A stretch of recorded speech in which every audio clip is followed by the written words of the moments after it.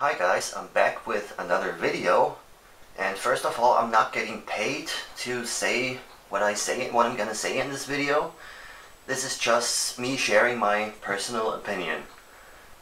Today we're gonna compare these two cheap EMF meters that I bought from Amazon. They both cost between 20 and 30 bucks. On the left we have the DT-1130 I couldn't find a brand name. And on the right, we have the K-Moon GM3120. And we're gonna start with the DT. So I'm gonna put this out of the way real quick. So here on top we have a LCD display. We have a power button, a data hold button, an alarm LED. It also has a alarm piezo. This button down here, it didn't come with this button. I added this because if you leave the battery in when you don't use it, it's constantly in standby and that sucks the life out of the battery. So I added this button to disconnect the positive lead coming from the uh, battery to extend the battery life. I'm also going to do this to this one. I haven't done it yet because I just got this. So yeah, on the back it has a stand, which I don't really use, but it's there. It runs on a standard 9 volt battery.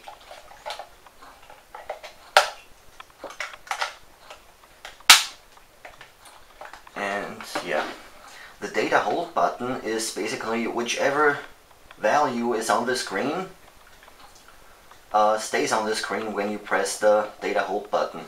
It's like say um, you take a measurement at a specific spot and you want to walk away and write it down somewhere.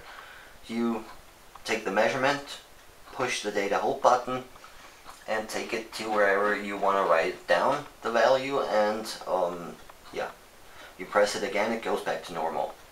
So let's turn it on.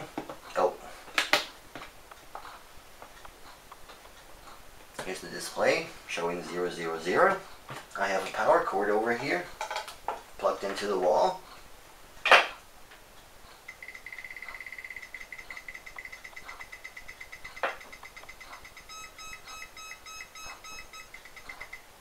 So this is what it does. That's the DT-1130.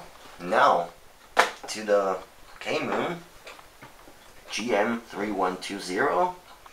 It has a larger LCD display. It has a alarm LED there. It also has a piezo power button. If you if it, when it's turned on and you press the power button again, the display lights up, which is a really nice feature. This button, uh, with this button you can switch between peak value mode and uh, standard mode which just shows whatever you're measuring at the time. And this is again a data hold button. And if you push it and hold it down it turns off the piezo or turns it back on. On the back it runs on a also on a standard 9 volt battery. It didn't say um, which lead is positive and which is negative, but I found out that the left lead is the positive and the right is the negative. So I put that in here with a marker. Put the battery back in.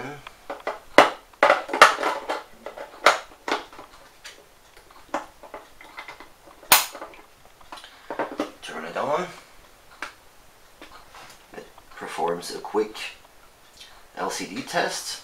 So here we have the battery level, shows the uh, that the piezo is on, and here's the mode. Switch the mode, turn off the piezo, turn it back on.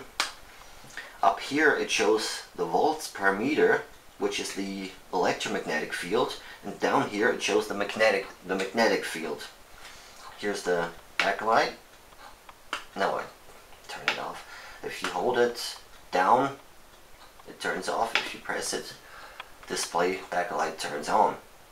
That's a nice feature, especially if you're dealing with uh, nighttime situations. Here's the power cord again.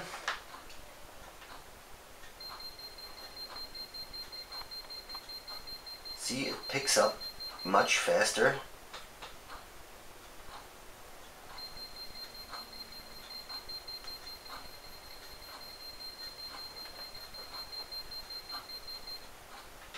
Now we're going to do a sensitivity test.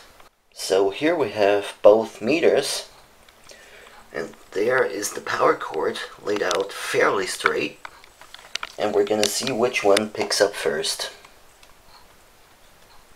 It already shows a value here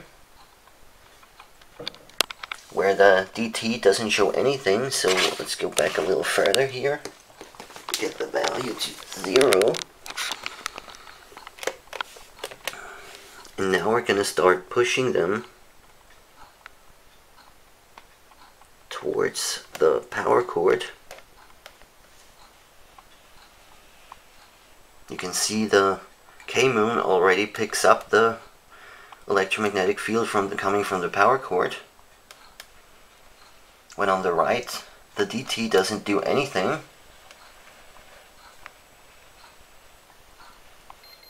And there's an alarm on the K-Moon.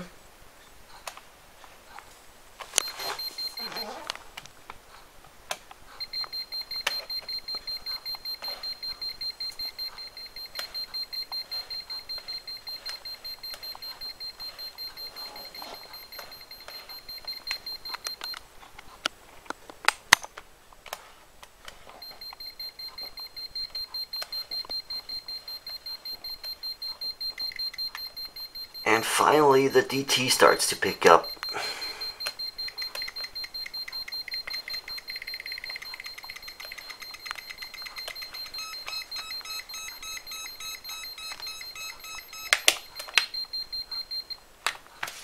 Okay, so that's that. Thank you guys for watching. Like, subscribe, and all that good stuff. And I see you in the next video. Bye.